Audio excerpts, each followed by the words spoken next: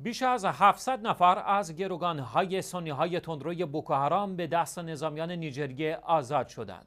تیموتی آنتیگا سخنگوی ارتش نیجریه گفت این افراد شامل کشاورزان، ماهیگیران و اعضای خانواده هایی هستند که به عنوان برده از سوی این گروه تروریستی مورد استفاده قرار می گرفتند.